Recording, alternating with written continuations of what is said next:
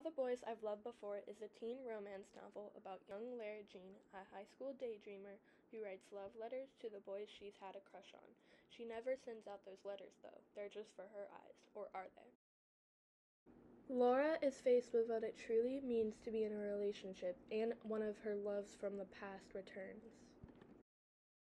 Laura and her dad both have great relationships at the moment, but something might change that all. Lena is spending a summer in Italy, but this summer in Italy turns into a road trip across Tuscany. Olive Smith, a student who is determined and headstrong, winds up fake dating the university's most hated professor.